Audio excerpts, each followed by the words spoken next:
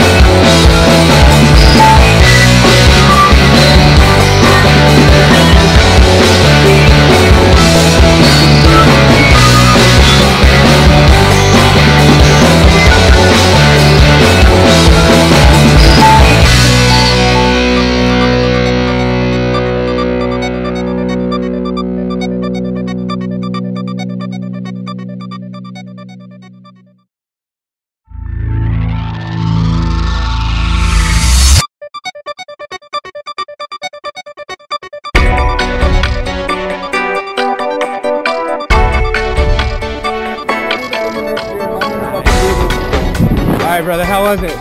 It was amazing, man. Jesus Christ. I'm pretty sure I have to do this again at some point or the other. Yeah, totally worth it. What was your favorite part? The drop, the flip backwards. Oh my god, I really wish I could have like gone down further. I guess head straight, gotten a little bit of a faster velocity, but maybe next time. Next time. Looking forward to it. Hey, man. Thanks for coming out to Skydive Taft. See you next time. Take care.